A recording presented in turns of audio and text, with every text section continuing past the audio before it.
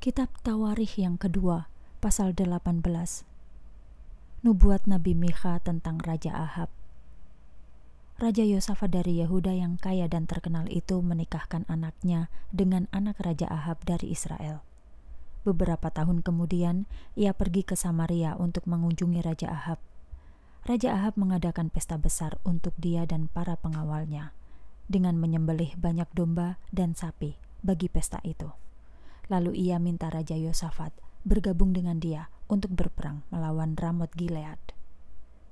Maukah engkau ikut dengan aku ke Ramot Gilead? katanya.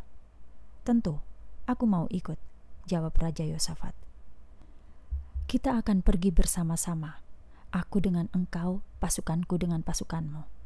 Akan tetapi, mari kita terlebih dulu bertanya kepada Tuhan.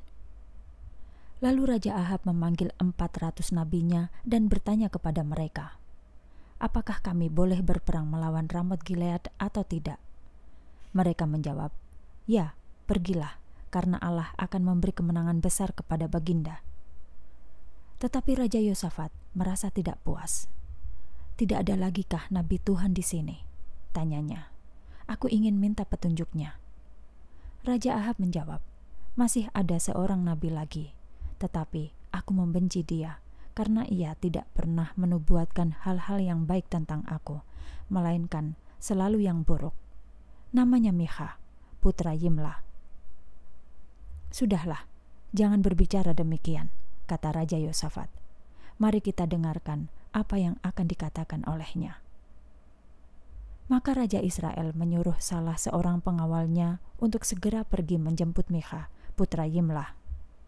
Kedua raja itu duduk di atas tahta masing-masing dengan pakaian kebesarannya di sebuah tempat pengirikan di dekat pintu gerbang kota Samaria, sementara semua nabi palsu itu bernubuat di hadapan mereka.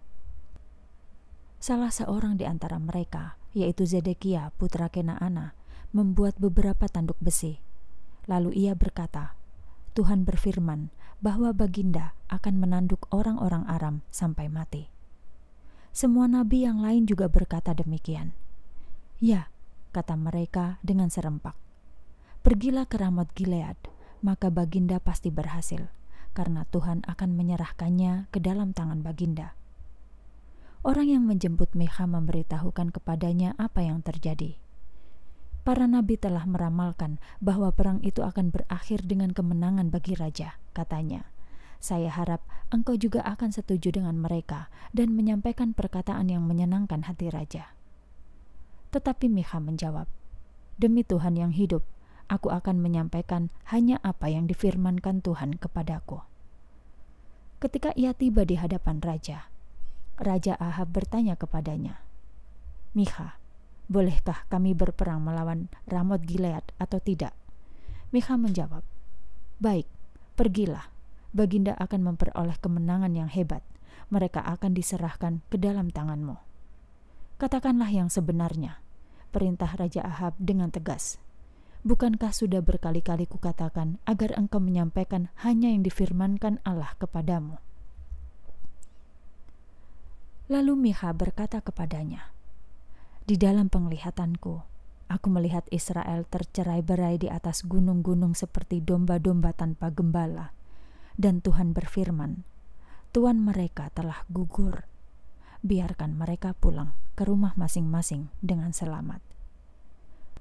Raja Ahab berkata kepada Raja Yosafat, Bukankah sudah kukatakan kepadamu tadi bahwa ia selalu menubuatkan yang buruk tentang aku dan tidak pernah yang baik? Dengarkan lagi firman Tuhan kepadaku. Miha melanjutkan, Aku melihat Tuhan di atas tahtanya, dikelilingi oleh banyak malaikat. Dan ia berfirman, Siapakah yang dapat membujuk Raja Ahab supaya ia mau berperang melawan Ramot Gilead dan gugur di situ? Ada banyak saran yang diajukan, tetapi akhirnya tampillah di hadapan Tuhan satu roh yang berkata, Aku sanggup membujuk dia. Bagaimana caranya? Tanya Tuhan. Roh itu menjawab, Aku akan menjadi roh dusta di dalam mulut semua nabi raja itu. Pasti cara itu akan berhasil. Firman Tuhan. Pergilah dan laksanakan.